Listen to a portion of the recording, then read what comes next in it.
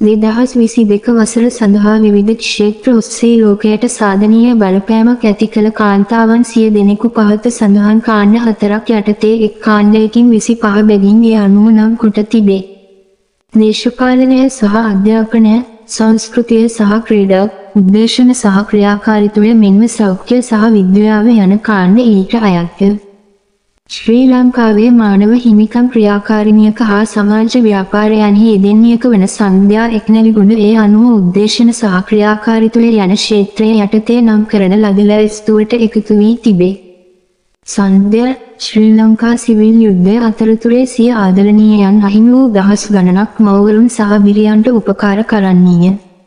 ඇගේ ස්වාමි පුරුෂයා වූ ප්‍රකට ගවේෂණාත්මක මාධ්‍යවේදී හා කාටුන් ශිල්පී ප්‍රගීත් එක්නැලි ගොඩක් දෙදහස් දහය වසරේ ජනවාරි මාසයේදී ඇතුළුදන් විය.